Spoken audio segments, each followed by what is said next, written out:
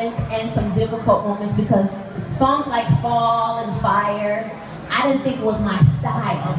And there are literally times where the producer had to say, maybe not in these words, I on the spot, but was like, get your butt back in that booth and do this song. You can do this. Because once again, people can put you in a box. Oh, gospel one, or she's the conservative one, or she doesn't do anything, she doesn't hang out, blah, blah, blah, blah. So I thought, even going back to my first gospel album, I was told that it must sound like a traditional gospel album. So when they started coming to me with music that they would give to the other R&B pop artists, I got a little nervous. So we had some great moments until where I just finally gave it up and said, man, okay, you know what you're doing, produce this record.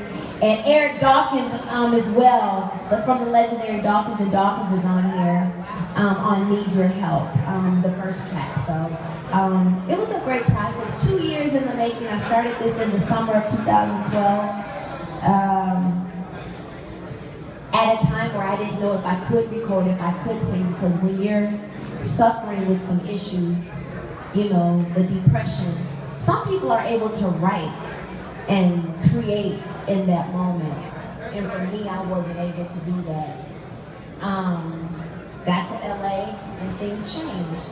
Kelly Rowland hooked me up with the producer Harmony, said you gotta work with Harmony because he did three songs on her album. Um, and the song B and I are on her album, he did. And um, that's how Journey to Freedom happened. Now, you